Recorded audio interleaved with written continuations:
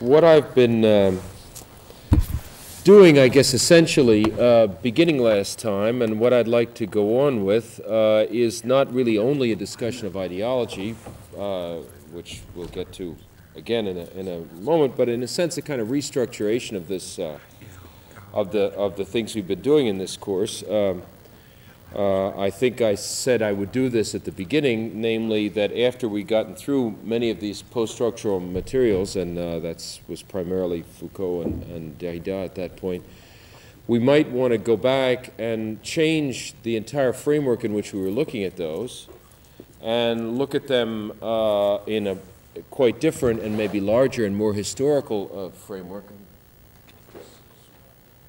Stand here rather than there. Um, uh, and, uh, and therefore, I think, uh, uh, although it might have seemed, it might have seemed more desirable to begin with, uh, with this and to, um, and to organize the thing as a whole in terms of ideology, I think there was a certain desirability in um, finding ourselves forced to, um, to confront this, this topic and this new framework which is therefore, uh, in a way, for us a new beginning. Um, and since it involves a great many different things, uh, a uh, number of different uh, different writers and thinkers, Nietzsche, for example, whom we will finally talk a little bit about today, uh, a number of different themes.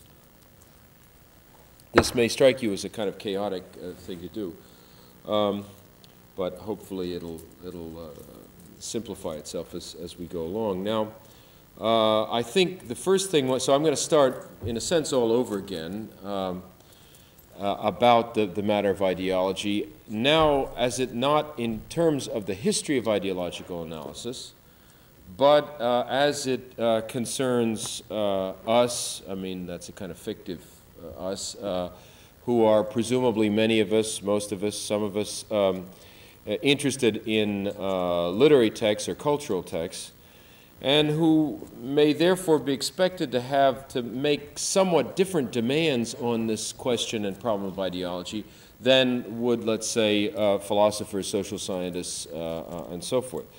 That is to say, um, we have a twofold problem.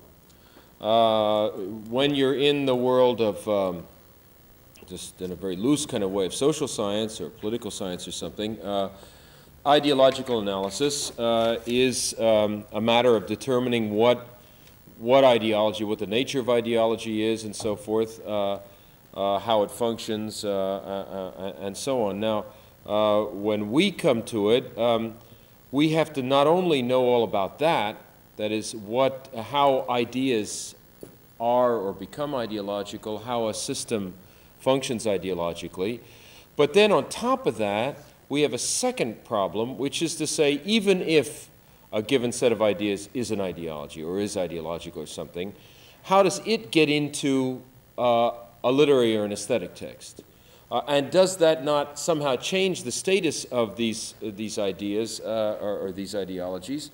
Uh, or at least uh, does it not require us to invent or devise some second stage, second degree way of um, of uh, deciphering the ideological charge or investment that a, uh, that a literary text can have. So, um, so in a way, we have to do really more than the conventional, if there is one, the traditional theory of ideology. We have to make some link between the social science notion of ideology uh, and um, the, the, the problems of, let's say, the symbolic or of the text. That is the question of how, uh, even granting that we know what ideology is, which is far from certain, you know, uh, even granting that, uh, we have the second problem of how ideology could get into a literary text. Uh, and there are lots of marvelous uh, sort of period words that we have for that. Now, how ideology gets inscribed in a literary text, if you like that expression, and, and uh, or invested, I mean, they're different depending on your your, um, your favorite vocabulary field. There are a number of words for this, none of which solves the problem, of course, because these are all figures. Uh, okay, now, um, uh, so, uh, so it is a two-stage process. Now, I would say that for us, um, uh, maybe we can think of um, the various uh, ways of tracking down ideology in a text on a kind of general sliding scale. Uh, let me not say text anymore, let me say narrative, because essentially uh, I'm, I'm essentially narrative oriented, and I consider that even uh, lyrics are narratives in some way, and so on and so forth. And, and I think if we talk about ideology and narrative, we sharpen the problem and make it more uh, difficult for ourselves and more interesting because uh, uh, it's it's, a, it's, a, uh, it's, it's very easy to see how some opinion expressed by somebody or other in a novel is ideological.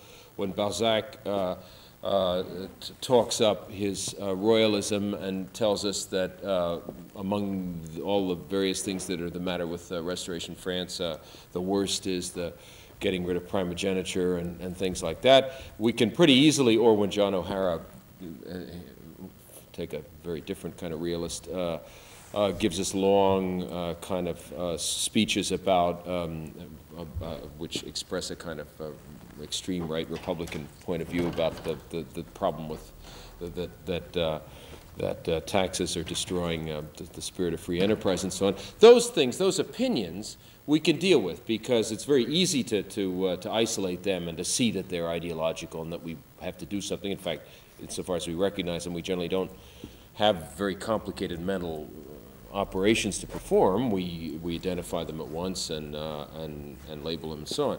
Now, when you're talking about events, it's quite different. That is, when a character does one kind of thing, um, uh, it becomes a little harder to, to fit ideology in. Here, too, there are transitional stages. That is, where you have a setup in a narrative in which you have a hero and a villain, uh, and we find out that the heroes are, um, are policemen, and villains are, let's say, um, misfits, uh, black people, marginals, and so on and so on. Well, uh, it's not too hard to see that behind this ostensible plot, there is a whole set of opinions about social order being expressed, uh, which are uh, which look like a narrative, but which are still virtually uh, in the in in opinion or um, or idea form. Uh, but then then it gets harder. See, suppose you have a work which doesn't have a villain. Now remember, this was sort of our reading of Conrad. That is, uh, we we we we tried to find the place at which Conrad's text reformed itself into a kind of melodrama in which the hero had um, not one but two alternative kinds of villains. And each of these then uh, was the clue to a certain, uh, to the operation of a certain ideology in Conrad. The first one was the idea of nature as, uh, as this, uh, this force which, implacable force which destroys human life. Well, by a little extrapolation, which may have been abusive on the basis of that text, but which I think is more generally justified if you look at other works of Conrad, um, it would seem clear that this is then the existential, uh, already forming here is a kind of proto-existentialism in which uh, um, uh, God is the, the first uh, criminal because he made human beings mortal, in which uh, uh, nature is, is this absurd, which is destroying human life, and so on. And insofar as that's a metaphysic, uh, it seems to me that uh, whatever its other values and however one would want to historically analyze it, uh, it is an ideology, and we can. Uh, and and we, we were able to track it as such because we found that this was, in the early part of the work, Jim's enemy. That is, this is the other character, uh, the, the, the, villain, so to speak, in terms of which the first part of the plot was articulated, and where one has uh, this figure of a villain where one has the whole action couched in terms of good and evil, or, or generally uh, the evil category or component uh, will reveal the nature of, of, the, uh, of, of the ideology of work. Now, in the second part of the work, as we saw, the villain, the content was rather different. Uh, the villain was, uh, Gentleman Brown was pretty clearly a sample of uh, this whole late 19th century idea of ressentiment.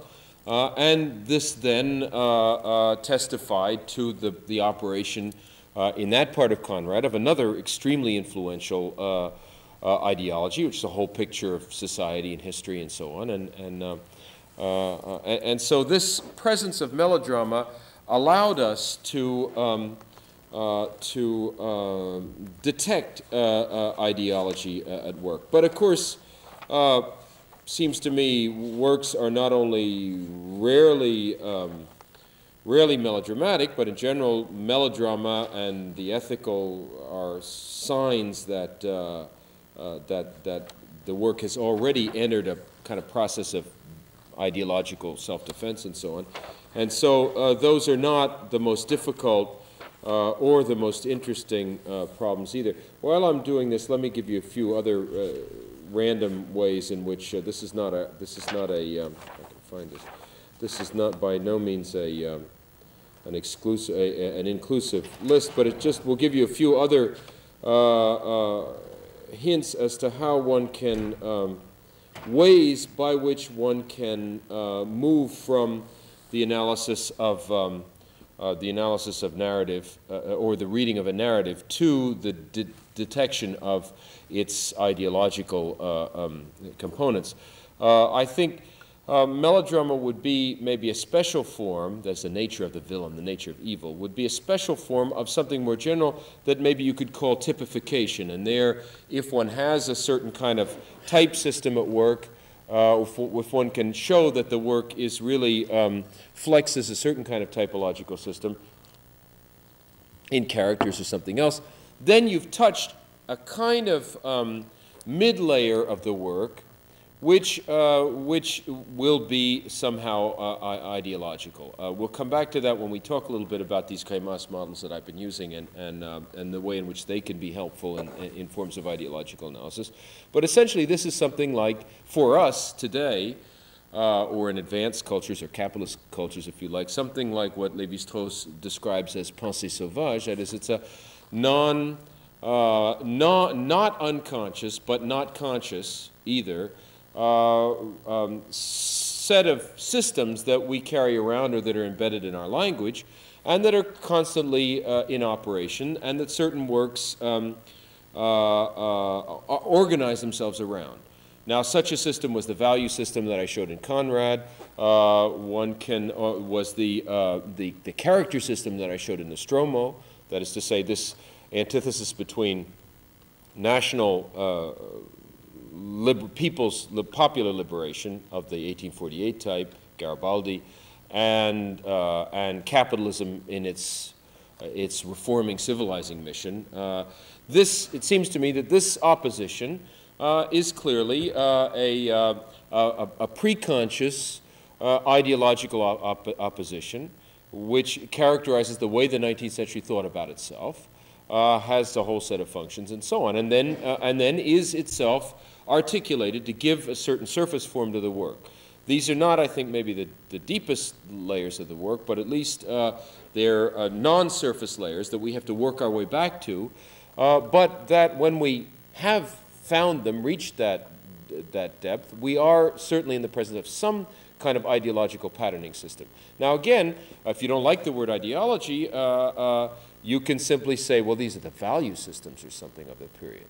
But I think for reasons I want to say in a, in a while, I think that's not really an adequate way of talking about it. So typification would be another way of, of doing this. Then I think um, the nature of the causality uh, uh, that's at work in a given narrative, or, uh, and also the nature of the resolutions that are provided in a given narrative, or the failure to resolve, uh, the way in which Conrad has to uh, have these uh, dramatic uh, um, Oedipal murders uh, uh, at the end of his books, which clearly don't end anything in a, in a concrete sense, but, uh, but uh, then, then can, by their very unsatisfying quality, can serve as a kind of hint of, of the presence of ideology. Those are, it seems to me, other basic, other basic um, uh, ways in which ideology operates in a narrative. That is, in, in the first case, the notion of causality. Do I have a good example for, you, for, for that? Well, you know, one could redo what I said about Gentleman Brown in those terms. That is, uh, in the, the, the, second part of the plot of Lord Jim, um, uses causality to perpetuate a certain notion of motivation, namely that there are noble souls, Jim was one of us, and then there are all these other ones who are uh, imbued by ressentiment, and uh, ressentiment becomes a kind of uh, picture of human nature, uh, uh, projects a picture of human nature and thus of human society.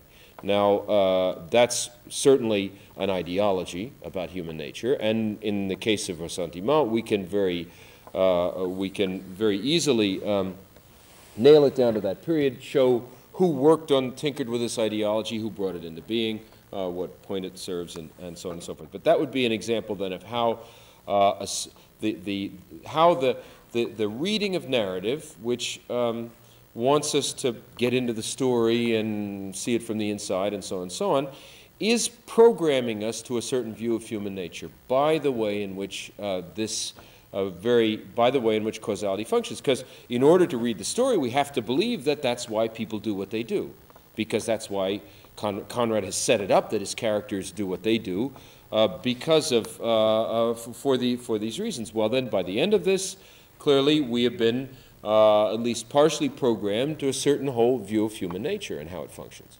And this is then an ideological, um, uh, an ideological effect.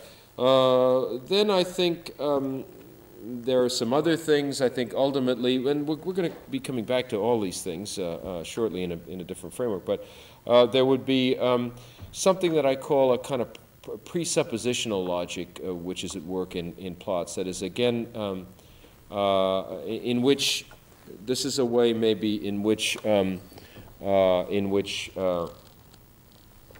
one can link psychoanalytic data, unconscious fantasies to social and, and, uh, and historical and ideological materials.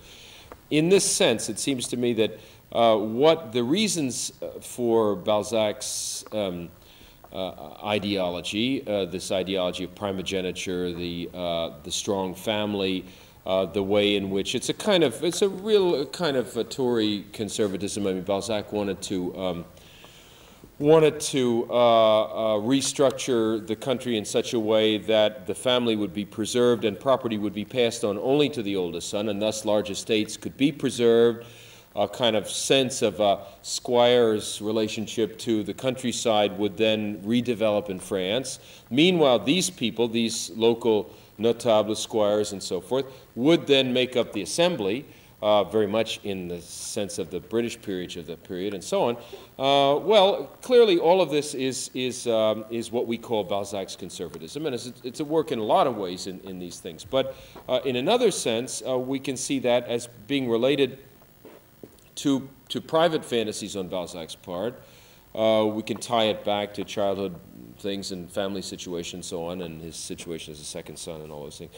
And uh, or, or, as the was he the second son, at least as, a, as an un, unloved other son, uh, and uh, and we can understand a little bit uh, how a fantasy comes into being, kind of utopian private fantasy, which then needs all of these political presuppositions in order to satisfy itself or to be thought. So then, what the novels do is. Uh, uh, they don't directly imagine utopia, they are not wish fulfillments in that sense. They're not, um, uh, they're not mere uh, projections of Balzac's wishes. Rather, they try to articulate a situation in which uh, these presuppositions about the social order become evident. So it's as though Balzac were trying to, uh, how can I say, trying to program his readership to a conviction about the necessity of all of these various presuppositions, which will make his own private fantasy possible. That, that may be a very complicated model, but I think that these are very extremely complicated uh, choices and positions, uh, and, uh, and nothing short of those complications um, uh, can, can do. Well, those are some of the ways um, those are a few of the ways in which one can imagine, in, in, in which one would have to work uh, in order to try to do something to, um, uh, to, to invent um, a set of methods or categories that were apt to deal with this matter of how ideology gets inscribed in a narrative. Uh, now, clearly, at that point, um, we see that um, uh, one of the other features of, of this history of ideological analysis I, I mentioned the other day, uh, once one begins to historicize this, you see that it becomes uh, essential uh, to, uh, to posit the, the difference, the different status of ideology in different social forms. Uh, and at that point, uh, we have an even greater problem, namely that we're talking about narrative, but obviously we mean we're going to have to change our method with every with with narratives of, of uh, qualitatively different types. That is, it would be be uh, it becomes obvious that uh, the narrative the narrative of, uh, of an oral myth.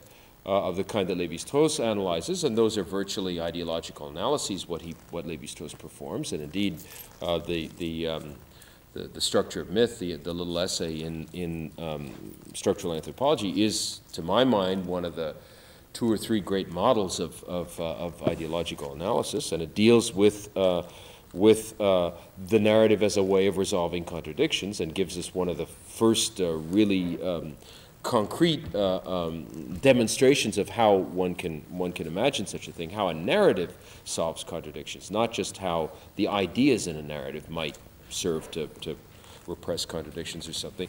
Well, um, uh, it's, it's clear that the way uh, that happens in the uh, oral literature of a, of a, primitive tribe is going to be quite different from uh, whatever would take the form of ideology in, a, in let's say, the great Oriental despotisms or something, uh, what would take the, the, the, form of ideology in the 19th century, uh, in 19th century classical capitalism and what would take the form of ideology today or, uh, or in future societies. Uh, uh, Adorno has a very important reflection that I always recall at this point, which is, um, uh, which I, I, think worth pondering, but which we won't really ponder ourselves here until uh, we come to Deleuze probably, but in which he says, we must, something like this, we, we must um, entertain the possibility that ideology itself changes status and therefore form in the various societies that it's in.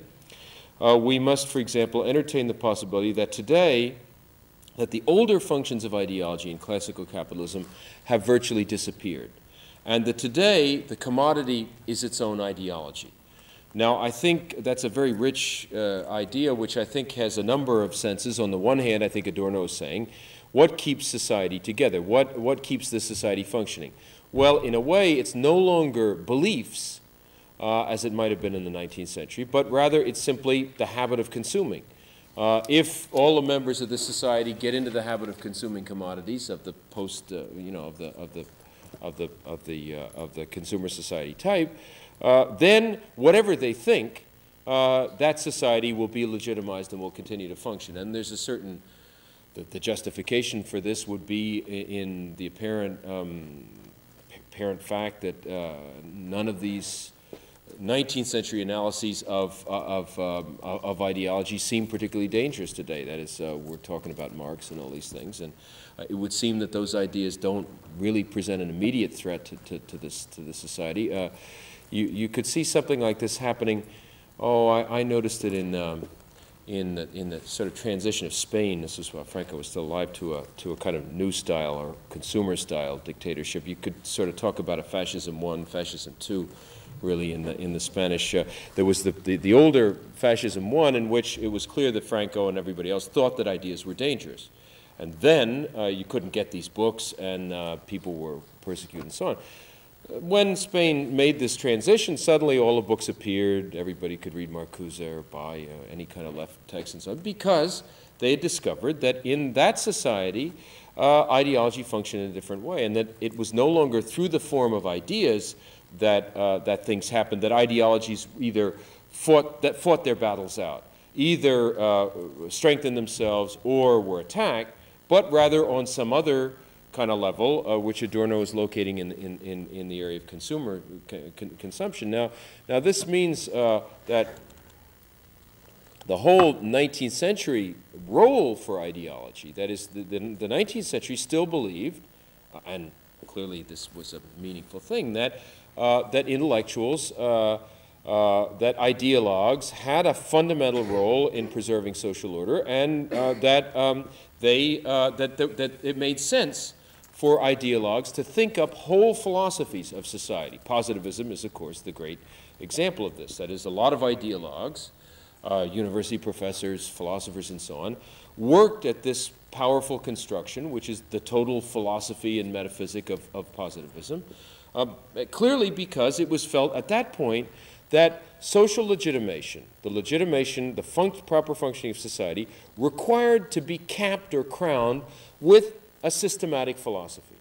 Now, it seems to me that um, uh, that's clearly not the case anymore. That is, the last uh, uh semi-systematic philosophy that justified our social organization was, was what I guess we call liberalism, not of the 19th century type, but of the new post-New Deal type. And I think, I don't think anybody believes in that anymore exactly, but it hasn't been replaced by anything else because maybe it, we don't need a philosophy anymore. I mean, this, this society now functions in a, in, it legitimates itself, doesn't need that kind of uh, legitimation, uh, and it now functions a different way. Well, uh, if that's the case, then of course we have some interesting questions to ask ourselves about literature too, then, and how it functions ideologically. And, and, and, uh, and in a more general way, uh, we have to be very careful about the, the dialectical nature of this concept of ideology, that, uh, that really uh, the function ideology plays in different social formations may be so, uh, so very different, these functions from each other, that uh, we almost seem not to be talking about the same thing at all. Uh, so that uh, certainly religion was a very fundamental ideological um, form of ideology in, in older societies. Uh, and that is certainly not the place of religion today and so forth.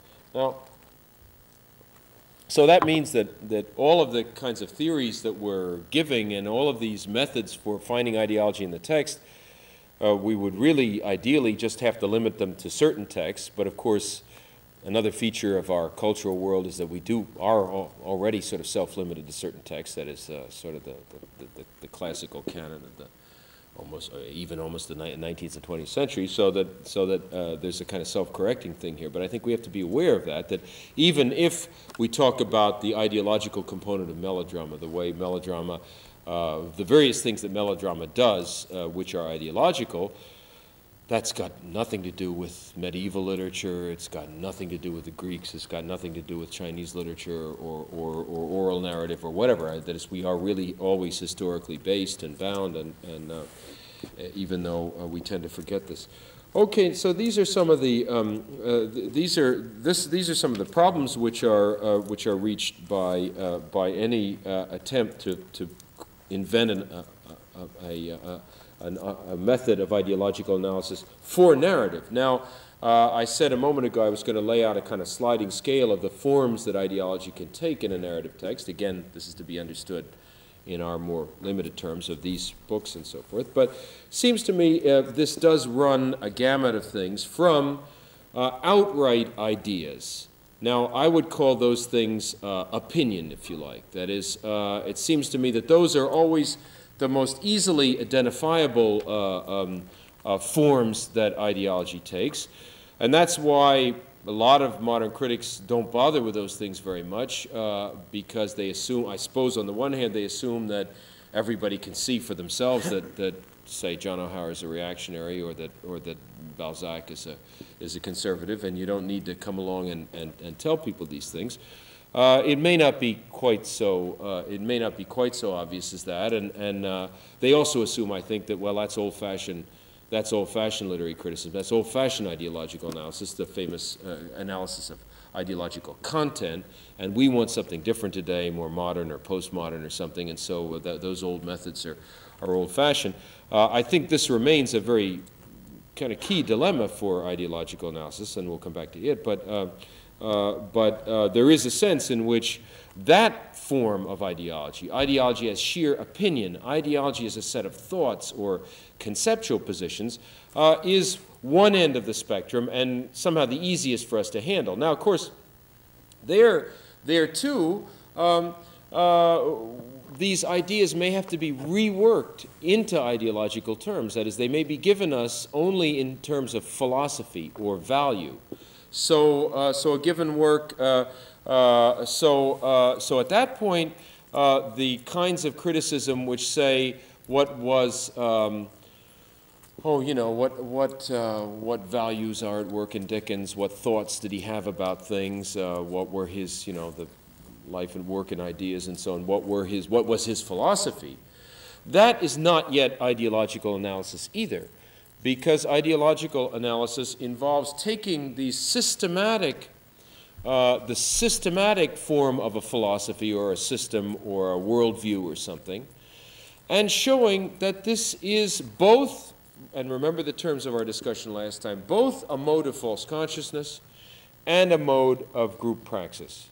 Uh, that it is that it is a form of mystification, but that it is also a way of doing something and, uh, and a way that a certain social group and generally a class um, tries to work its problems out uh, and fight its battles out in, uh, on the intellectual level. So uh, even when we start from this purely conceptual uh, part of the work, uh, the, the, the, philosophy of George Eliot, say, or Dickens, or God knows, you know, the thoughts of Faulkner or something, uh, uh, the thoughts of Wyndham Lewis. Uh, even where we have something which is systematized like that, and really in the form of opinion, you know, we still have some work to do to, to, to unmask that as ideology and show the relationship of those ideas to their, to their situation.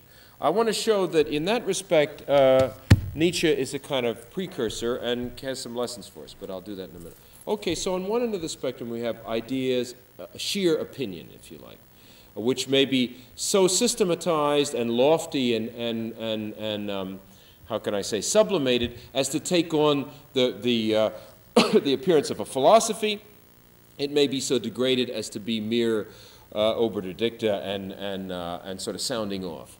But that's, that would be one level of, uh, one, uh, uh, one extreme of the way in which ideology gets into the work, and I use this kind of crude expression to sort of show that there's a problem about this. Okay, the next one then I think would be um, something in which uh, the, the next sort of deeper level, harder to decipher, would be one in which we find certain fundamental ideological categories at work.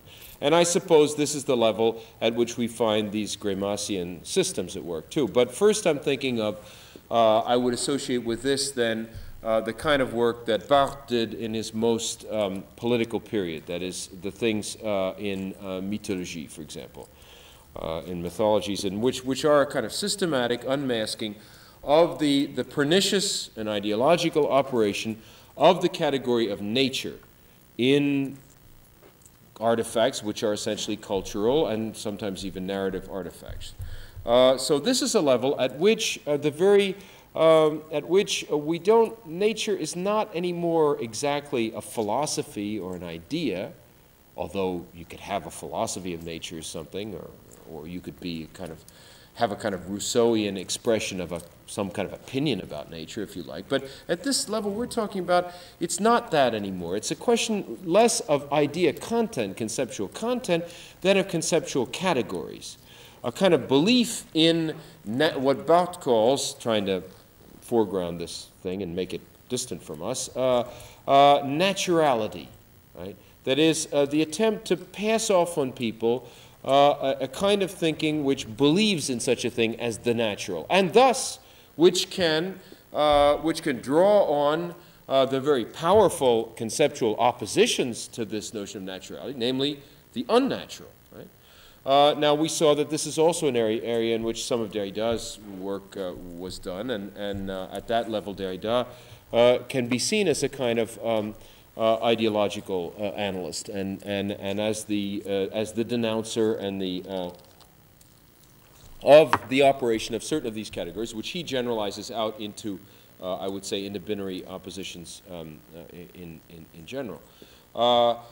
if one wants to see these things in a more complicated way, then, as I suggested a moment ago, one can go all the way with the Gramscian apparatus and see a much more complicated system at work. But we're still in the area of kinds of categories, their oppositions, their organization, and so on. And this is a level of the text which is neither, um, uh, which is uh, maybe uh, not as conscious as that of opinion, but still, I'm using this metaphor of conscious and unconscious, but still relatively uh, surface uh, in the text, and with which the text is not necessarily completely um, uh, in, in complicity. That is to say, there's a whole theory of what art does, that of Althusser and Macherey, uh, where uh, the very status of the aesthetic and of the work of art is described as being a form of unmasking those categories.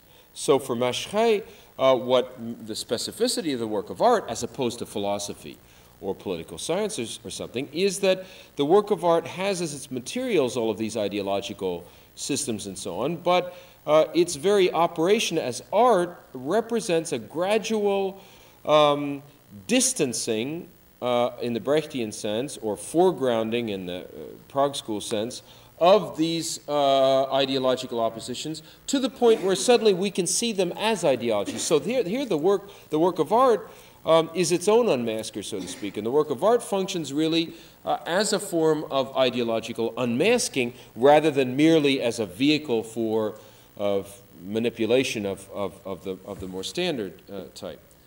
Okay, so we, we proceed from opinion, categories, to uh, yet a deeper level, I think, or at least a level which is operating somewhere else, which is the level that I call the ideology of form, uh, in which uh, something, messages are be being emitted by the formal apparatus itself, namely by the genres or, or, or their relationships or their, their sub-relationships. Um, uh, that is to say that something is going on uh, in, uh, at, at a level uh, which is neither, which has to do neither with the content of the work, I guess, uh, nor, nor, in another sense, it's a, it's a, it's a, uh, it's a kind of purely formal level where, where the form is giving out a kind of autonomous message. Now, I, you know, there would be a number of examples one could could give of this, they, they all depend largely on the idea that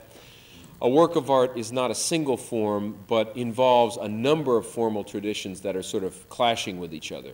Uh, and therefore that these ideological messages are being given by the interrelations of what, I'm, what I call generic discontinuities. That is the way in which, uh, and we saw something like this in Conrad, you see. We saw that we had a, had a proto-existential narrative which was then uh, reworked in terms of a kind of modernistic expressionism, uh, but which had to solve, resolve itself into uh, essentially a popular narrative an adventure story. Well, it seems to me that those, uh, the message of Conrad and the, the ideological functioning of that, of, of that very complicated text uh, is at least partly uh, um, being conveyed uh, through the interrelationship of these generic strands and their, uh, and their, uh, their contradictions with each other, or the way in which one solves the problems of the other, and so on and so forth.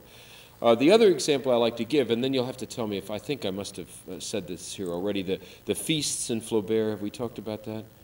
did I read you? I think I did this maybe in Friday mornings, but so it might be worth just, I'm not, I don't have the text here, but there's a, there's a very there's a very striking scene, but there's a lot of them in in uh, uh, in other works of Flaubert. In uh, in Herodias, the third of the three tales, um, in which you have all of these various the citizenry from the whole Roman Empire. You know, is all from all kinds of exotic uh, places. Uh, uh, Roman Britain, the, the, the, the, Goths, Arab tribes, Africans, everything else are, are all sort of here at this feast of Herod's, all eating their odd local dishes. So some of them eat, I don't know, dormice, and others uh, others like to, to, to, pickle things in certain ways, and others drink. To, and so you have this kind of uh, fascination with a with a very uh, very exotic, highly colored multiplicity.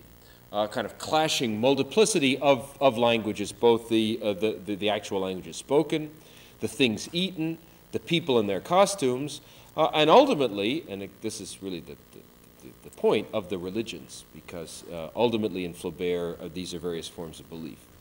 Now, um, the way I read a passage like that is that uh, it, this is not only part of Flaubert's reconstruction of the Roman times, it has a very precise ideological message, but a message which is conveyed, I think, through the form of this thing, rather than through its function in uh, in this story. That is, um, what would be the ideological message of something about the, the, the varieties of cooking in the, in, in, the, in, the, in, in, the, in the Roman Empire? I mean, uh, it's clearly not on that level that, uh, that this is being conveyed. But if you look at other works of Flaubert, if you remember in Sentimental Education, for example, some of the great scenes of the revolutionary, great, one of the great comic scenes of the Revolutionary Club, which in imitation, you know, the comic imitation of the tragedy of the Great Revolution, in imitation of 1789. Uh, they spring up a whole set of political clubs. You remember at one point Frédéric thinks he's going to have himself um, uh, elected by that club to be their candidate for, for parliament and so on and so forth.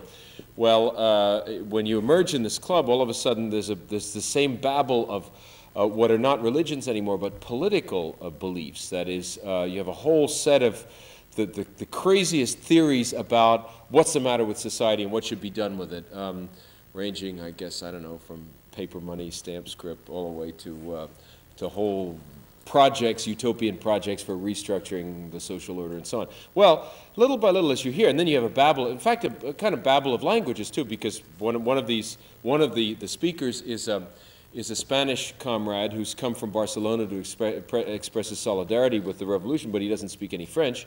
And so his, his discourse punctuates the scene, and, and Frederic can't make himself heard, and, and the whole thing ends in a kind of chaos.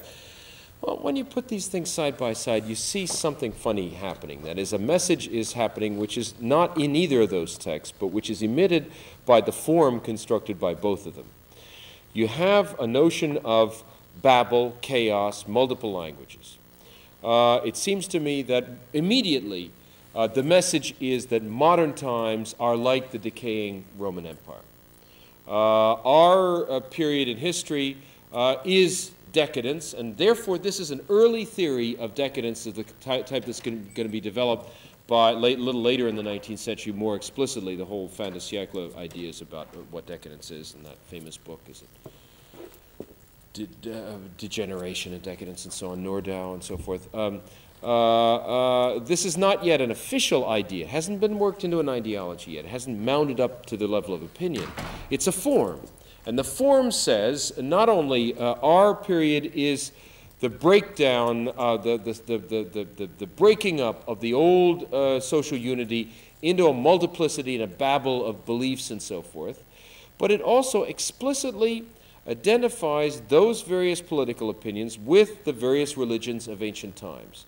So it's really a point in which Flaubert, uh, we know from other information about Flaubert, Flaubert believed that what was called socialism in this period, now this means this includes the, the, the commune, but it doesn't really include what we think of as so that socialism means sort of the social question. Anybody who's interested in the poor, what you do with you know how you uh, how you how you arrange to solve these burning uh, problems of the time.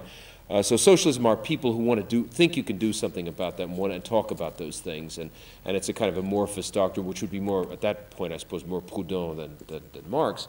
At any rate, uh, Flaubert explicitly assimilates socialism to medieval Christianity. Socialism is religious. So even the reinvention of the commune, he says, that's a medieval idea. Uh, well, here I think the and and then of course remembering that Flaubert is profoundly like a good was he is he at that point a Third Republic citizen? I don't know, but uh, like like like a good 19th century positivist, religion is of course the infâme, superstition, and so on, so that you you uh, are entitled then in this very complicated unconscious set of uh, syllogisms, you are entitled to hate socialism because you can train on it the very passions of the bourgeois revolution uh, against superstition, the Catholic Church, uh, uh, uh, religion, and all the rest of it. So, so there's a very complicated set of intellectual processes going on here which, however, find their immediate expression in this form. So in Flaubert, when you get you, you, you can get a political message of that type emitted without, uh, without anything else having to be said. All you need is a situation, a feast of some kind, in which there is this, uh, this form, uh, this sort of microform is, uh, is recapitulated, in which you have a kind of babble of codes, of, of, uh, of, of foods and so forth. And that at once, in the very form, emits a complicated message which has to do with the decay of modern times, the breakup of, of older unities, uh, the religious character of socialism, and so on and so forth. So that's yet another level at which, um, at which this uh, ideological uh, uh, investment uh, is taking place. I would say then that level we could talk about as the moment in which form itself becomes a type of symbolic act which is uh, somehow, therefore, um, uh, going on independent of, um, of what's happening in, in that form. Uh, and I use the word, uh, when one uses the word symbolic act, of course, you evoke the whole, the heritage of Kenneth Burke, and, and, uh, and I think it's at that point that some, at least some of Kenneth Burke's work is useful. Now, the final stage in this operation of ideology in a narrative text, it seems to me.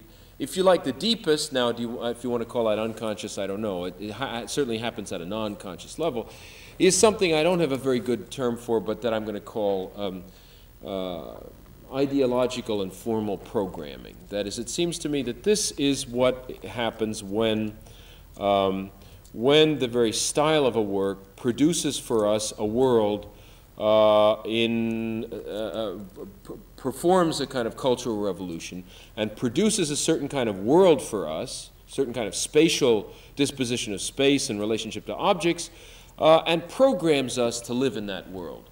Uh, I, I consider that that's one of the great ideological functions of 19th century realism, which was to really have made this, we've said this before, I think, in connection with Flaubert, but again, I think this can bear repeating that um, the ideological functioning of this style uh, is to produce a new uh, world of daily life, a secular world, which is no longer the space of sacred societies or ancien regime societies, power societies, which is the world of equivalence and the market system, which is the world of decentering. Uh, so Flaubert's text does this not on any level of form production, not on any level of, um, uh, of idea or of plot, but on the level of um, of the, the sentences themselves and what they do, and the way, and programs us to this. As we learn to read these sentences, uh, we learn to inhabit this world. And that is the very function of cultural revolution in, in, in, in, in, a situation like that. You have people who are, um, who grew up in the Ancien Regime, who grew up in a society which is still only intermittently a market, market society, a secular society, and you, reading is a way of programming them to secular society. Uh, now, when we get to Lewis, of course, reading that as a way of programming, programming us to a quite rather different society, it's pretty easy to see that it's a way of programming us to, to the machine, society the machine, the mechanical, but uh, surely uh, we have to go further than that. We'll try to do that, uh, uh, do that later on. Now, uh, the, the terms in which one in which one explains this programming to oneself could vary. It seems to me that the fundamental one for, at least for our last two centuries of history, has to be uh, the terms of Lukács and Weber and so forth uh, that we have already had occasion to look at, namely commodity reification and rationalization. That is, seems to me that that must surely be uh, one of the most basic, uh, uh, one of the most basic uh, places in which, in which these texts program us by the very quality of their reading experience uh, and therefore uh, have an ideological function. Now, you understand that this function is at one with the aesthetic. That is, Flaubert, in writing his sentences, uh, is not at this point really doing something else. Uh, the very composition of these sentences, the invention of a style, is at that level one in, at, at one with ideological production. But the ideology he's producing now, and that's why this is a funny way of saying it, is no longer a set of ideas. It's no longer a set of values, opinions about the world he's trying to slide across to us, which he's also doing. Uh, but rather, uh, it takes place at a, at a, at a level of, uh, of, of programming itself. Uh, and to the degree that we're programmed, for example, and this lots of people said about the modern world, you know, to the degree that, that we're trained to think in terms of one of the great things that Weber described this in, in uh, already in the Protestant ethic. Uh, if you take a pre-capitalist society and you want these people to, to work in the factory, in, a, in an essentially factory or proto-factory system, their whole ideas of time have to be reprogrammed. They can't live cyclical time anymore. They can't live village time. They have to live quantified time. So the imposition of quantified time and the bringing of the watch and the stuff that Thompson talks about in that, in that article of his uh, about time, uh, these are, but this is, I think we should see this not just as, it's a, it's a new, uh, it's a new function of ideology to produce and to, program, to produce a new quantified time, to rewrite the world in terms of this quantified time, and to program people to read the world in terms of that time.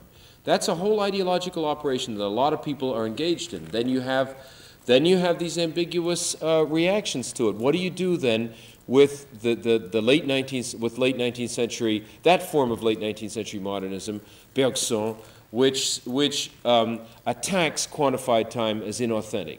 and tries to reproduce for us, reinvent for us some uh, other authentic realm of lived time which would not be that of clock time and, and spatial time. Well, in a sense, Bergson is, a, Bergson is certainly a critique of capitalism in that sense, but one can also ask oneself, and I don't answer it here, uh, uh, one can ask oneself whether by making that kind of separation and suggesting that there's an intimate time which one can reconquer from quantified time, whether you're not somehow perpetuating the very ideology of quantified time.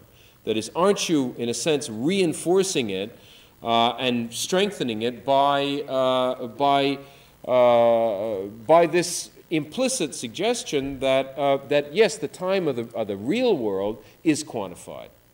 Uh, so, so there's a way in which Bergson is utopian, that is to say, it's a critique of quantified time, an attempt to, to produce a picture of something else, and there's a way in which Bergson, at one and the same time, is ideological because he reinforces the ideology of quantified time while seeming to produce another to it.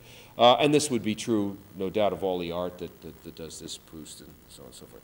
Um, uh, so that at that level, I think there is an operation of ideology that one must describe in purely formal aesthetic terms uh, and which uh, we and, and which is, uh, I think, which we're uniquely equipped to, to, to study, which the social scientists, I think, probably don't focus in quite the same way, and which is, gives us the, at once a clue to this other uh, matter that we spoke about a while back, namely the whole question of the text of everyday life today. That is, how one, uh, how we today uh, understand the kind of uh, the, the fabric of uh, our existential experience in, in, in this society and also understand the relationship of that existential experience to underlying laws, to kind of underlying world system and, and so on and so forth.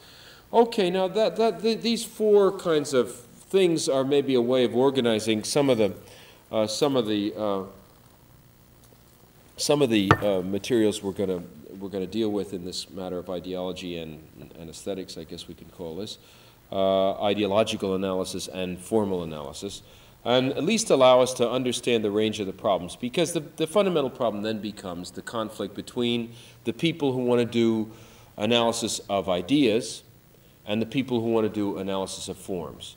Uh, and in a way, um, I don't know how it is here. I think in the States, it's clear we're not at that level of sophistication, but certainly in a place like uh, Britain, um, one of the main uh, conflicts in, um, or one of the kind of mythic oppositions in Marxism, uh, in the Marxist tradition or traditions, is this, I think, sort of imaginary antithesis between Lukács and uh, Althusser. Uh, the Lukácsians are all those people who are interested in, in realism, and, and thus they're thought to be representatives of old-fashioned kind of content analysis, where the Althusserians are much more sophisticated, or the Tel-Quel people, or the screen people, and those are people who, who, uh, for whom uh, the real place and function of ideological analysis is at a level that we'd have to call the form. Uh, uh, and the, the, the, the, the formal operations of the chain of signifiers or, or whatever. So, uh, so you have a apparent antithesis as though one has to somehow uh, one really has to choose between these two things, and the minute you choose, you're marked, and um, then you're pointed out. I saw a cartoon in the British Radic Radical Philosophy um, Journal, which uh, in which uh, a couple is talking at a table in a restaurant, and the uh, and the man is saying to the woman, uh, pointing to the waiter, he's a Lukácsian.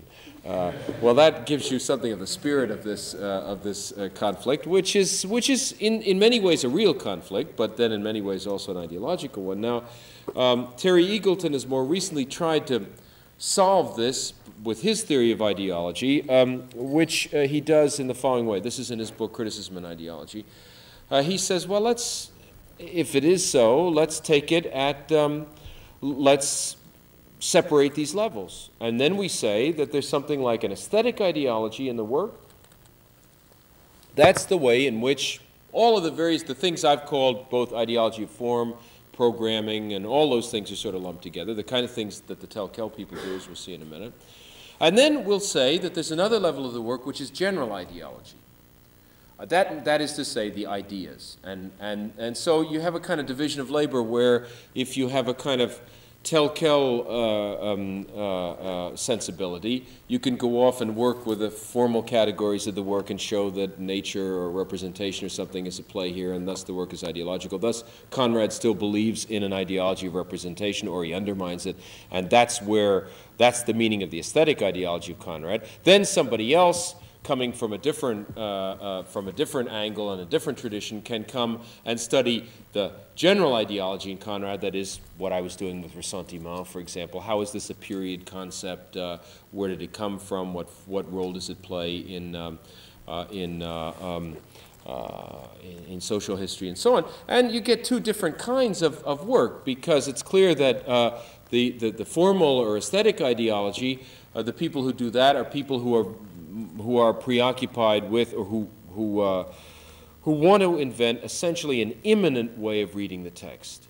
Uh, that is, they want to be able to do something very, often very dazzling and, and, uh, and, and, brilliant by staying within uh, the formal interplay in, in, terms of the text, where the other ones are the ones who are sort of related to, to uh, literary historians or historians in general. Those are the people who go and read the boring books of the period or who dig up uh, uh, uh, archives and things. And, and these two bunches of people don't really um, understand each other. That's sort of the extrinsic kind of ideological analysis. And they clearly don't like each other very much or they don't, they, they don't like each other's work, have much respect for each other's work, and, and so on and so forth. Uh, I think this is a very real conflict in, in this, uh, in, which, is, which has its uh, which has its source in, in objective uh, problems.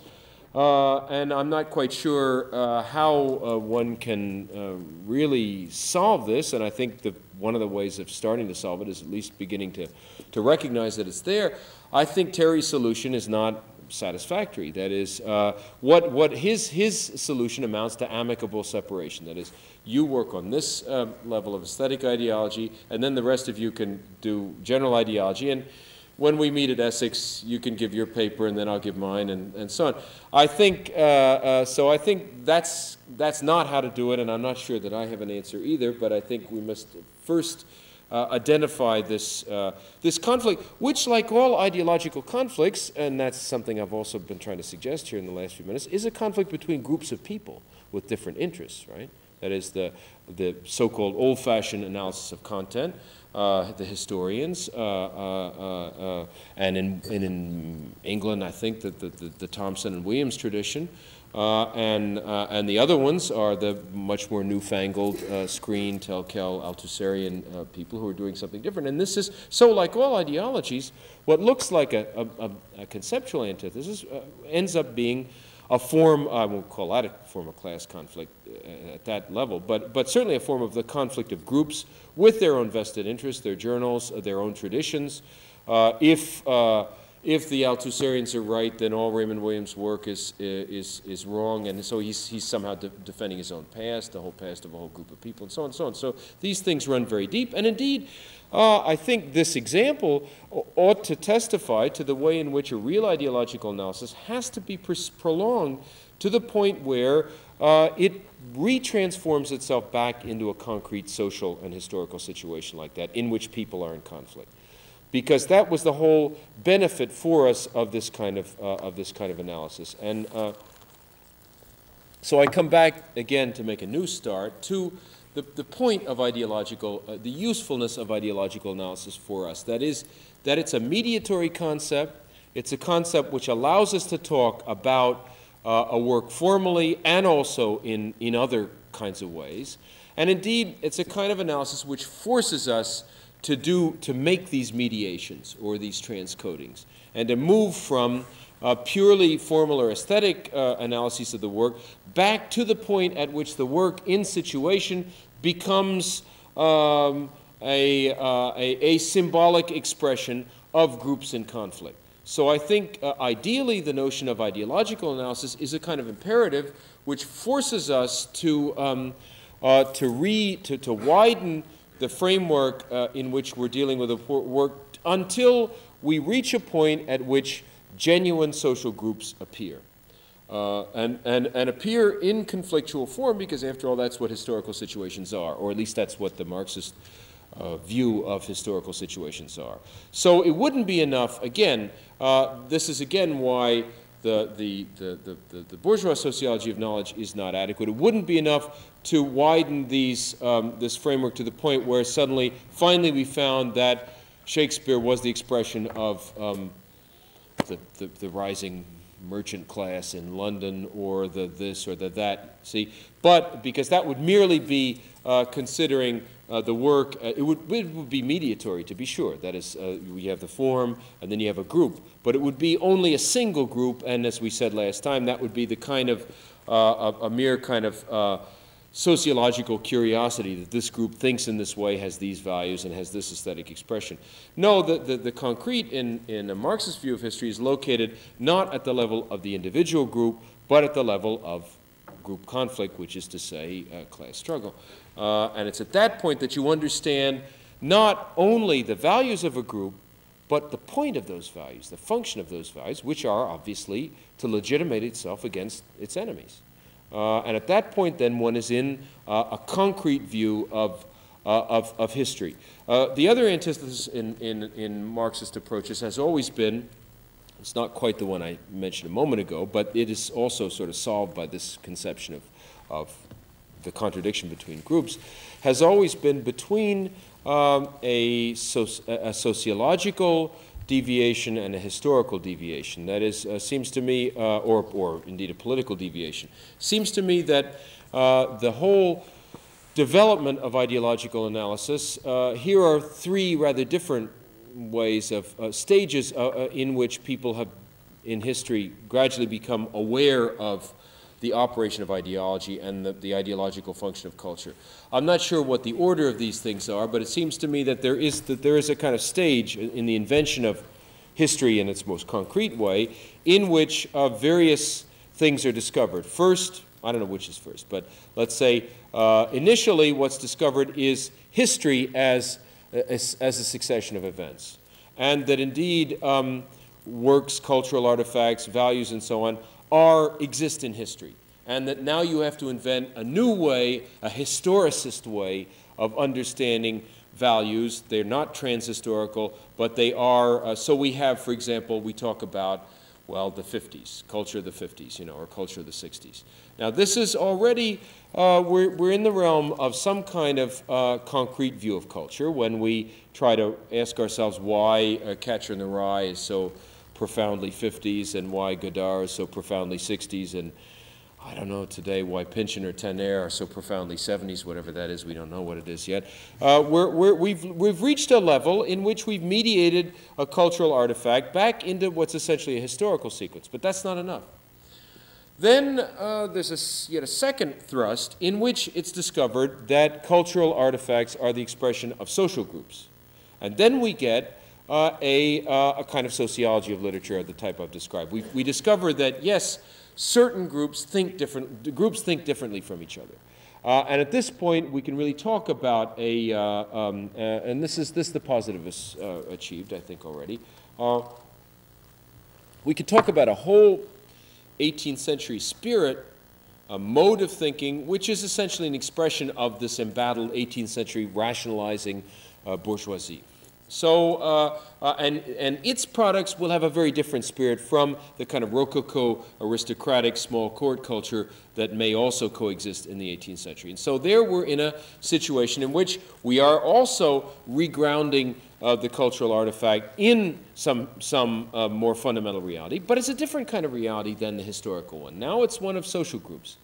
Finally, we can, uh, and the final level of specification uh, is we can, we can understand the political content of the work. And then we can suddenly see that uh, a given work play, wants to play a political role, that, uh, that uh, the marriage of Figaro uh, is a political work or some novel of Balzac or, or that even other works that we don't know have a political thrust, that, that the first sentence of Flaubert's um, Three Tales is doing something political in that uh, uh, local situation of uh, universal suffrage and, and, so forth in, in, uh, in, uh, in uh, France in the 70s and, and, and, 80s.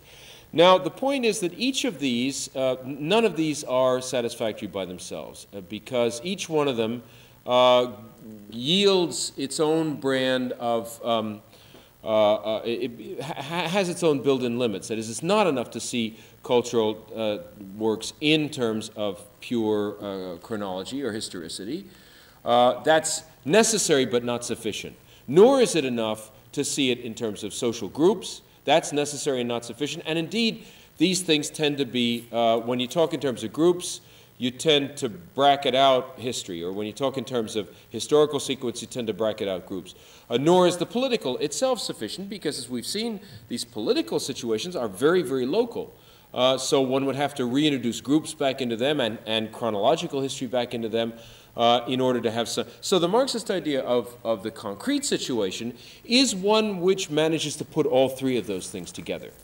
Uh, and that's why, uh, and that can only be done in terms of uh, of, of, seeing the situation of the work as a determinate contradiction uh, and of seeing it uh, in terms of a group, uh, of, of the struggle of groups in a historical situation which is itself conditioned by a certain mode of production, by its emergence or, uh, or disappearance. Um, so there is an ideal of completeness, or what Lukács will call totality, which one has to hold to, I think, in order to, um, to get an idea of what of what uh, it means to perform ideological analysis, or what a really adequate, complete ideological analysis ought to be. Now, the problem with this, uh, with, with this word is that, and, and it's a good problem in a way, as you'll see, is that everybody thinks, no matter what you tell them, everybody thinks that when you, uh, when you decide to make an ideological analysis of something, uh, you're attacking it, eh, or you're saying it's bad art. I once, a group of us did a, did a presentation of uh, the ideology of language and of poetic diction in Wallace Stevens. Um, and at the end of this thing, people said, we, when we, we said this, I mean, we said what I'm saying right now at the beginning of these talks, but it didn't, didn't mean any, make any difference. At the end, people say, but why do you think Wallace Stevens is a bad poet? Because when you, when you talk about the ideology of, uh, when you talk about Faulkner as being an ideo ideological writer or the ideology of, of language in Wallace Stevens, in spite of everything, even if you say ideology is not a negative, um, is not a negative characteristic, uh, people cannot but uh, uh, take it that way, and they assume that you're simply repudiating the work and that you mean it's bad. Uh, if it's ideological, it's bad. Uh, now, I say that that's a good problem to have because that makes it unavoidable to be in a combat situation with respect to the work. And I think uh, it's essential that, that, one, uh, that one be in that relationship. So it's not, it's not a bad shock for people to, to, to try to have to figure out how one could both like Wallace Stevens' poetry and consider that it is profoundly ideological.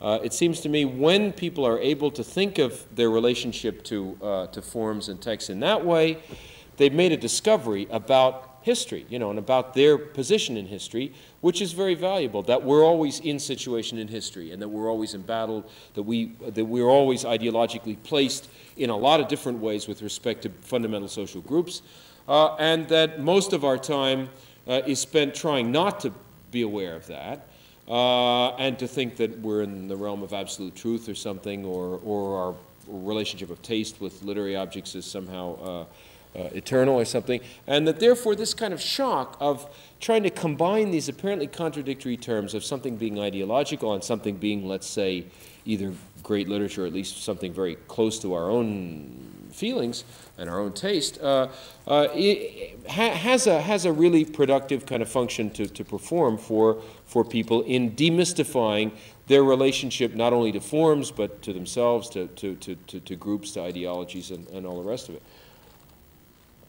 On the other hand, then if that's the way it is, one has to then um, talk oneself, uh, um, one has to powerfully uh, react the other direction and keep insisting on uh, the ways in which ideology is not only mystification, not necessarily mystification, uh, but the way in which ideology can also be something else. And this is what I've called the utopian component uh, in ideology.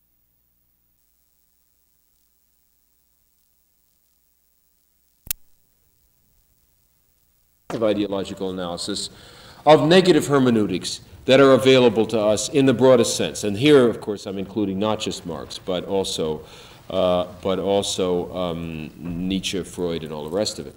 Uh, there are really two versions of ideology which seem to be, uh, which seem to be contradictory with each other. The one is the, the notion, the, the, the conventional notion of ideology is false consciousness, or mystification, or even manipulation right, as error.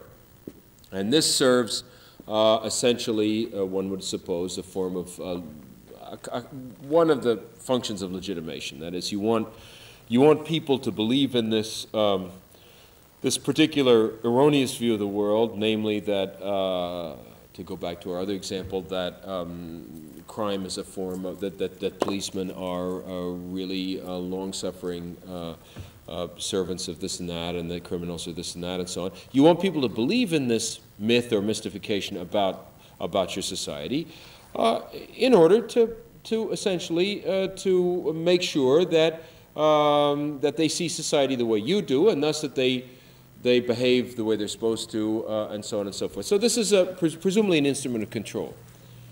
Now, the other way uh, that one uses ideology is quite different from that let's say, let, let, me put it this way. Supposing I said to you, um, uh, take structuralism, uh, the whole uh, information theory, structuralism, semiotics, is the ideology of a nascent technocratic class. Or take a somewhat more limited level, suppose I said that the new criticism was somehow the ideology of the, the great poetic production of modernism of that period, uh, Hart, Crane, Pound, Eliot, and so on and so forth. Well, at that point, we're using, and, and the word ideology is very generally used in that sense too, right? That is to say, people say, uh, you know, the problem with this group is it hasn't developed an ideology. Uh, uh it has no, uh, it hasn't worked out its kind of, uh, its own self-consciousness in, and we, we like to call that ideology, and that's odd because a moment ago ideology was a purely negative uh, uh, kind of pejorative tool, instrument for, for denouncing some, some, something, and generally a form of error or mystification. So in this new, in this new conception of ideology, the whole thing turns around, uh, and um, little by little, ideology comes to be understood as a form of group praxis or group consciousness. that is, in this, in this view of ideology, Ideology is simply the self-consciousness of a group, and, and uh, to the degree that a group exists, it must have an ideology, and these would range presumably from very, from very small groups to the largest social groups, which are classes or nations or, or whatever.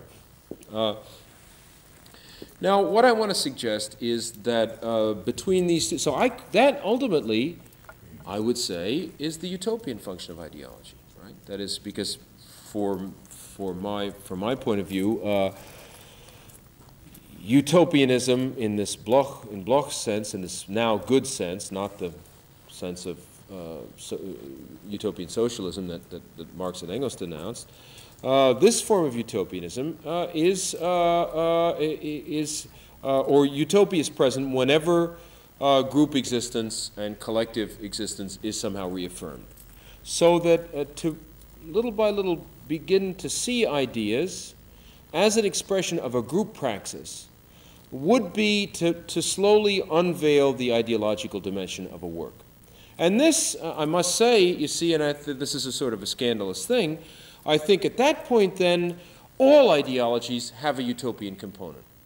Because even the most, um, the most uh, exclusive and elite uh, group, uh, uh, groups, uh, the, of, of, expressions of, let's say, small and, very, and very selective ruling classes, nonetheless, insofar as the, the ideologies of those groups express the life of the group and the sense of group cohesion, there is a utopian component.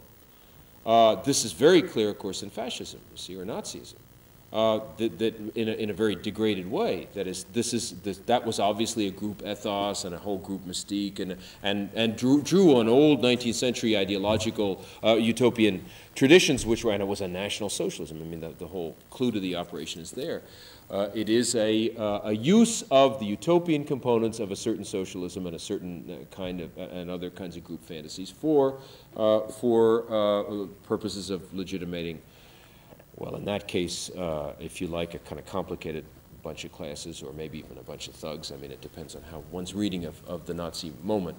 But, but, but I think it's important to, to understand uh, uh, to understand that one has to push ideological analysis that far so that one's ideological analysis is not complete unless one manages to identify this group component uh, in it. So I would say that um, a, a, genuine, a concrete mode of ideological analysis has these, has both these tasks and has to perform both of them at once.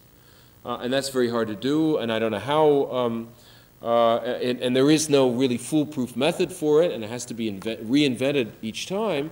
But it seems to me that it can't be complete. That I've given other specific, specifications for completeness, right? I've said uh, it isn't complete until we work the, the, till we reach the point at which we understand the connection between this cultural artifact or this cultural, or this idea, opinion, in the concrete situation of groups in struggle, which is history, which is class, and so on.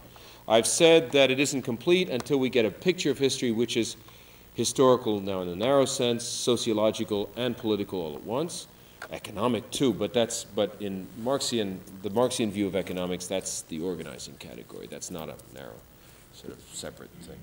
Um, now I'm saying that we don't have a complete ideological analysis unless we've understood in what way this work, a given work, is both, and now I'm sort of shifting my terms, I don't know, this is maybe not satisfactory, but is both ideological, that is in the narrow sense of mystification, error, manipulation, and utopian all at once. Uh, and um, uh, uh, so that um, so that henceforth uh, mere denunciation of an ideological component uh, is not enough. We have to somehow feel our way through the inside of the work to the point at which we understand it as, if it has any kind of power at all, as also the expression of some repressed uh, kind of utopian thing. And that's the sense in which, I don't know if I said this here last time or if I've said it before, in which I have this kind of rule of thumb that really one ought not, one ought only to make ideological analyses of things for which one has a certain kind of uh, sympathy oneself or a certain kind of affinity. Because then ideological analysis becomes a form of self-analysis where uh, if you denounce that which is absolutely foreign and repugnant to you, uh, it, it, may be necessary to denounce it, of course, but it's unlikely you're going to have anything very interesting to say about uh, how it functions because you're not inside of it and you don't, uh, uh, and, and, you don't really uh, sense, its, um, sense its spirit. Okay, so much then for this general idea of um, kind of general framework in which it seems to me we haven't said what ideological analysis is. We've just said what it ought to be, uh, what it has to satisfy in order to come into being, and a little bit what its function is. That is, this mediatory function of uh, enlarging the, uh, the, the, the, framework in which we see the, the, the work and, and regrounding it in the concrete. Now, I think at this point maybe we have a, another little bit of time.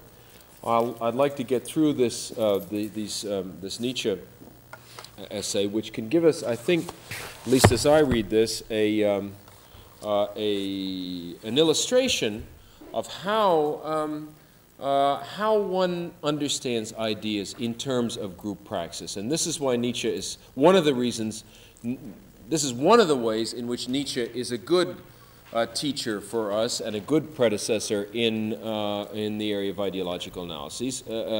Uh, uh there are some ways in which he's not so good, and uh, I don't know that we'll say all those ways, but certainly uh, in a different sense, Nietzsche is a, and there are lots of different Nietzsches anyway, but I mean, some of those Nietzsches are, are ideologues in the bad sense, but this one has a kind of lesson for us. Now, this little fragment has become the, the, the basic sacred text of, of, of present day post structural Nietzscheanism and, and is quoted by everybody. And this is what you read rather than, uh, rather than the birth of tragedy anymore, certainly, or even the genealogy of morals. This little text called On Truth and Lies in the Extra Moral Sense. Um, it has, of course, a very classical uh, Nietzschean thrust to it. It's a fragment. I think it's even a posthumous fragment. I mean, it's written in the 70s, but it has a was published posthumously, so it's a kind of odd fragment. To, but but you've also seen, I think, that post-structuralism thrives on fragments and in some way indeed may be said to be the ideology of fragments and in that sense of group practice that is this is the this is a, in, in one way a system of people who like to produce fragments and who are explaining to themselves why the fragment is really the privileged mode of expression of our of our time and so on and so forth. So so it's it's very appropriate that this should be a Nietzschean fragment. Nietzsche who himself was a great fragmentary writer both of aphorisms and other things and and uh, who therefore um, uh, had, a, had a deep practice of this, uh, of this particular form. Uh, this is, um, it's, it's clear what, uh, what an older kind of Nietzsche is doing here. That is, uh, this older Nietzsche is saying, just like the Nietzsche who told us about, um, about ethics, th that Nietzsche explained to us how um, you believe in ethics, Christian charity, and all those things. Supposing there were a way in which um, uh, these apparently uncontested values of, of the ethical had very, very different meanings than, than any of the ones you've attributed to, to them. That is to say, supposing charity were, were a, an expression of the will to power. Supposing charity, rather than being everything that it says it is on the, on the surface of it, uh, abnegation, uh, service to altruism, service to the people, so on, were in reality a way in which the weak overcomes the strong, in which you uh, make the object of your charity uh, um, uh, uh, dependent on you in, in the form of gratitude and other things, and thus ultimately charity, the, the various other ethical emotions or ethical states, become uh, only apparently ethical expressions, uh, and in reality, uh, the expression of a will to, uh, to power and to domination uh, over other people, and a will to ressentiment, or, or, an expression of ressentiment, expression of revenge of the weak over the strong, and, and so on. Uh, this is essentially Nietzsche's hermeneutic, Nietzsche's um, uh, Nietzsche's mode of ideological analysis, unmasking these surface thoughts. And, you know, the books he's using are British books, and this is the British 19th century still. This is Victorianism, and I think we don't really grasp the historical Nietzsche properly unless we understand all this as a kind of weird, aberrant, continental uh, version of, of things that ought to have been going on in England itself and in English, uh, and his basic text, of course, that that, that sprung him out of his dogmatic slumbers was a, was a British, uh, um, British ethics uh, uh, textbook or, or, kind of expression of a kind of, of uh, kind of period feeling about, uh, about ethics, Victorian ethics, and so on. So this is historically really grounded in the primacy of Victorian ethics as an ideology and wants to be an attack on that. And in, in the process, uh, invents a whole new method of um, Uh, of uh, a whole new type of unconscious and a whole new method for showing uh, what's going on under the surface of apparently uh, anodyne uh, acts. So we have the, the will to power is, the, of course, the Nietzschean unconscious. and this will to power is then like the Freudian id or like Marxian class consciousness, is expressing itself in a subterranean way in everything we do, uh, and is trying to disguise itself from, from us because one of the features of it is that we're not supposed to be aware of it, uh, and we have to persuade ourselves not to be aware of it, or like Sartre's, Sartrean bad faith, which is a late form of this Nietzschean thing. Uh, uh, and uh, in all these ways is, is, uh, is therefore serving as a new kind of model of what, we keep, what I keep calling the unconscious, that is, of, of um, a, a new kind of method for demystifying things, a new kind of model for showing underlying forces, real essential forces of work beneath surface appearances uh, and, and so on and so forth. Now, it's clear that in this essay we have one version of this. Uh, that is, among the various objects of Nietzschean critique, uh, ultimately, um, the main ones are ethical, of course, and beyond good and evil, and so on and so on. But among all of those values, ultimately, we arrive at this other one, which is that is you got, what do you have? Uh, uh, you have faith, hope, and charity, but you also have beauty, goodness, and truth. Um, one, of the, uh, one of the objects of, of this critique will come to be truth. Uh, so here Nietzsche is asking us and himself whether uh, that is not to be similarly demystified along with good and evil, charity, and all the rest of it. As supposing, supposing there weren't any objective truth or, or falsehood. But supposing the very binary concept of truth and, and, and truth and lies, uh, and the whole moral condemnation of lies and, and the, the, the, the, the, the automatic and self-justifying feeling that obviously uh, any ethics includes a, a, a, um, a, stand for truth and a respect for, uh, you know, for um, uh, sincerity and open dealings and honesty and all those things, uh, and that gets generalized all the way up to science. Uh, supposing those things ha had to be jettisoned along with the rest of ethics, and suppose they were themselves the expression of a kind of inner, um, inner will to power of some kind. Well, this, this is why Nietzsche is looking at truth and lies from an extra moral point of view. His is not a moral point of view. He's, he's out of ethics. He's beyond good and evil. He's in the world of the analysis of, uh, of, uh, of, the, the, the, the, the, search for the will to power in its forms. So, supposing this matter of truth and lie, supposing this were also a question of the will to power, what he says is essentially uh, this that, um, uh, and I think the way we're doing this, we did this with Adorno and Horkheimer, who are quite closely related to this moment of Nietzsche. Uh, and it can be a kind of more general uh, technique for understanding the content of, a, of, of, various ideological analyses. We're trying to find somehow the, the, the, what, what in the consecrated phrase is the, the, the, the ultimately determining instance of a given uh, position like that of Nietzsche's. That is to say, uh, when you've got an idea of error, you must also have an idea of uh, the, the mechanisms whereby that error perpetuates itself and the function that it has. Uh, and when you give that function, you automatically reveal your own metaphysic, if you like, or your own conception of human nature, or your own conception of this so-called ultimately determining instance. Now, in Nietzsche's case, it's very easy to see. It's in weakness that we find it. Uh, the whole uh, notion of truth and error comes out of the weakness of human beings face, faced with nature. Uh, and therefore, uh, I, that's why I ranged the, uh, the, the, the we, we, saw how dialectic of enlightenment uh, had as its basic theory of human nature uh, essentially a notion of uh, weakness in the face of nature and science as a will to power to recover that, to that, recover that, that weakness and that the whole theory of domination contained in, in, um, in generally in the Frankfurt School, but especially in dialectic of enlightenment, came out of that initial metaphysical presupposition about human life. Well, it's the same essentially in Nietzsche. He wants to show how, um, uh, how uh, this weak animal, which is the human being, uh, uh must invent defenses for itself. And one of these defenses is, the, uh, is, uh, is ideas itself, and ultimately the notion that ideas correspond to reality.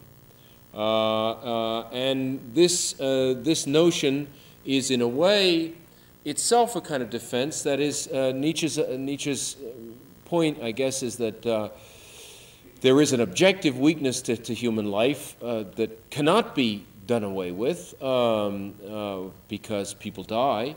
Uh, the, the body is fragile and all the rest of it. And so um, you have to invent some, a, a, whole a whole kind of uh, mirage uh, about um, uh, which allows us to live with that mortality and to think that maybe we're not mortal or at least that our ideas are, are eternal or, or something. So it's in that sense that, uh, that this, uh, that ideas as a separate realm of existence are produced and then come to have a kind of autonomy. Um, I can quote, I don't think we have really time to uh, to, to, to, look into this part of the essay in that much detail. But there's a whole notion uh, that, uh, that, that therefore, um, one of the fundamental traits of human life is to be, is to deceive yourself about the nature of reality. Right? That's one of the ways in which the weak protect themselves. And this weakness is not uh, merely the class distinction between the strong and the weak, within the human race, but rather it's the entire human race at this point, because we've come back to a point which is even before, I guess, the division into strong and, and weak. So uh, people, uh, uh, uh people uh, wish to, to sort of begin, enter on a path of constructing a whole series of rationalizations, self-deceptions about the world and about themselves and so on, which little by little takes on its autonomy and becomes uh, ideas and becomes the whole notion of truth.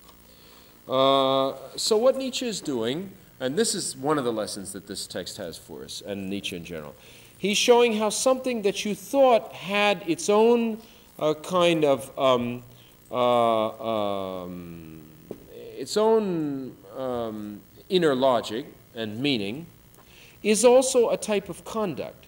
This is Nietzsche's connections, if you like, with pragmatism. Because pragmatism is another form that this discovery takes, of course, in the, in the late 19th century. That ideas are ways of living the world, are ways of doing something to the world. Uh, and that really to, to find out the, the, the, the basic, uh, to, to find out the, the, the uh, to, to, to reach an understanding of an idea of the concrete type, uh, we have to suspend the truth claims of the idea and look at it as a type of behavior. Now, it seems to me that this is indeed one of the very fundamental uh, movements or gestures of any ideological analysis. You take something that looked like an idea and you show that it's not an idea, it's a way of doing something to the world. Uh, and, uh, and indeed, one of the great tricks or recipes for ideological analysis is to say, take a philosophical system, oh, as abstract a one as you like, Kant's, Kant's trilogy or something, and, and then you say, okay, the way of analyzing this from an ideological point of view is to ask what happens when people generally recognize this is true. What do they do? Do they challenge? Uh, do, do, they start doing politics? Do they stop doing politics? Uh, do they behave? Do they, uh, you know, and so forth. So it's by applying some kind of pragmatic, uh, it's by, uh, by re, how can I put it, um, uh, re-articulating a philosophical system, a, an apparent idea it's by rewriting it as conduct that suddenly uh, we understand its ideological function. And that clearly Nietzsche is doing in his own fashion, which is not certainly not the Marxist fashion, but, but he's giving us an example of how that's done, and, and one of the great and powerful and suggestive examples of how you take an idea and rewrite. These are indeed our two basic categories in the beginning. We said um, false consciousness, group praxis. The false consciousness would be the judging of false consciousness would be looking at the idea as a representation of the world. Is it true? Is it false? Is it faulty? What is it? Group consciousness one gets to when one looks at it as a form of behavior. Uh, what, is, what is this idea or philosophical system as a form of behavior? What does it do? And ultimately, what does it perpetuate? Who does it help? Who does it hinder? And so forth. And one must say these things very crudely because I think uh, uh, these are, uh, these are uh, um, ways of defamiliarizing, undermining some of the um, age-old kinds of uh, crystallized pretensions of philosophy and thought in, in, general and culture in general, which have come down to us. And thus they must be undermined in what are relatively vulgar ways sometimes. Now, uh, this then is one of the examples that this one of the things that this text does for us, but it wasn't my main reason for, for touching on it, because in that sense, Nietzsche is also the philosopher, is also a post-structural philosopher of, um, of uh, a rhetorician and a philologist, and a, the first great philosopher of the symbolic. the first philosopher who said uh, there is no, uh, the, the, the, not only that there is no real uh, uh um, uh, objective truth to be, to, be, to be said or to be concocted about the external world, but indeed that we live in language uh, and, that, and that we live in, in what's essentially what people would today say call a kind of rhetorical universe, a universe of tropes uh, in which there is no literal language. That is to say, there is no place in which there can be an objective representation of the outside world, but only a whole series of various representations organized around, um, around tropes. Here's the key passage, and I read it to you um, as my friend Gayatri Spivak quotes it in her introduction to um, the grammatology.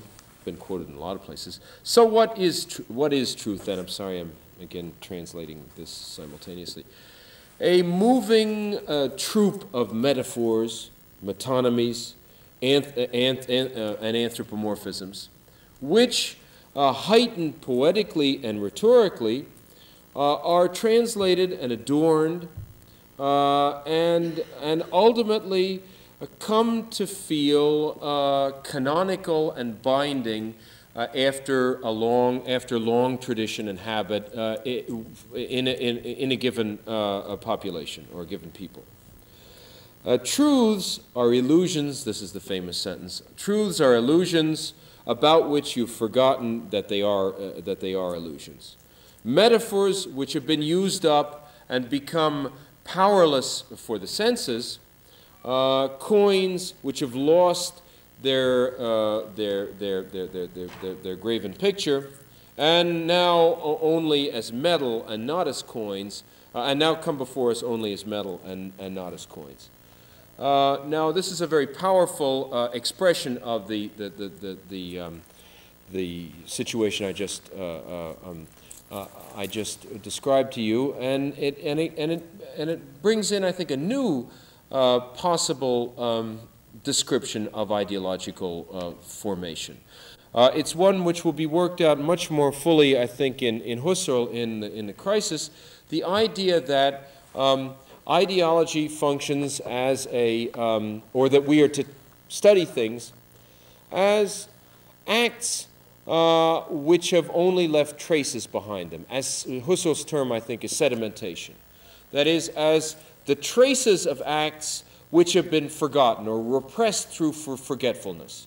Husserl's um, analysis of geometry, another classic fragmentary uh, privileged text for the, for the structuralist, Derrida has, all of Derrida comes out of it in a way, uh, out of his commentary on it. Husserl's uh, uh, origins of geometry show that geometry began as a form of praxis, measuring and so on, then uh, was hypostasized into a set of formal propositions we forget about the act of geometrical measurement, land surveying.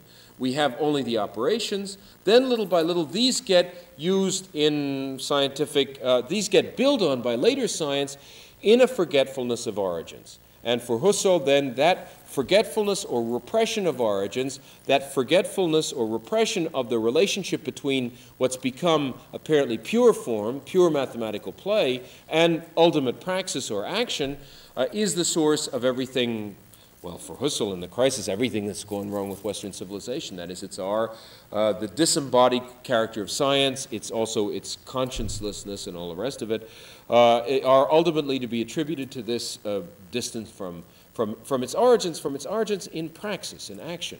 Well, this is going on in Nietzsche. I mean, he's saying that ideas uh, can originally be un understood as forms of praxis, uh, but later, later on we lose our connections to that, we forget about that, and so we are deceived by them because we because we repressed uh, that, that, uh, that relationship to praxis. Now, uh, uh, and that the tropes are themselves forms of a certain praxis.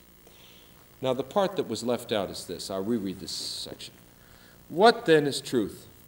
A moving troop of metaphors met and metonymies, anthropomorphisms, and now I fill in the, the point suspension. In short, a sum of human relations which uh, heightened poetically and rhetorically, uh, and so on and so forth, are translated and adorned and then, then, then come to be thought of as truths by people in whom these things have been drilled in by, by long. by long uh, uh, uh, tradition and habit. Well, look at if if if the tropes are sedimented human relations, then everything changes. Then this Nietzsche can't be appealed to as a post-structural Nietzsche, but you have almost a proto Marxist Nietzsche here, who's talking about the way in which praxis leaves its traces in, uh, in language, and then we forget about that praxis and it disappears, and, and we have, we're just left with the language and the forms and so on. And, uh, uh, and we must see all this in a very different, uh, different perspective. Now, it's true, this is a perspective that Nietzsche himself does not often uh, explore, and later on in this, uh, in this um, in this essay at once draws back from this and is interested only in understanding these truths or science as uh, so many, he calls it, uh, it's like the, um, uh, he says it's like the, the, the, way in which bees uh, build their, um, what, do the, what, do bees live in?